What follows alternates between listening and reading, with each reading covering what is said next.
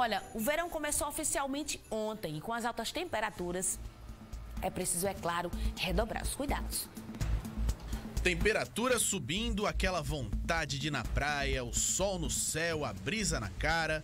O verão, a estação mais esperada pelo Gustavo e por todo mundo. É a mais esperada, como também a mais gostosa de é, usufruir.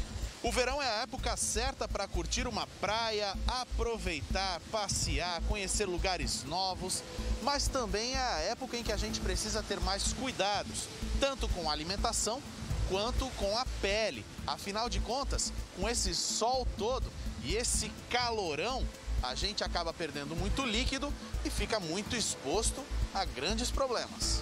O Carlos Eduardo é nutricionista e explica que nessa época o cuidado tem que ser redobrado com a hidratação. Então, para isso, uma ingestão de água de 30 a 50 ml por indivíduo, né, por quilograma de peso, ter uma ingestão adequada de água, alimentos que favoreçam esse percentual grande de com riqueza de água, né, como o abacaxi, o melão, o abacate, a laranja, o kiwi, são excelentes fontes, né, com um percentual de água gigantesco, né? Mais sol, mais pele exposta, mais riscos também.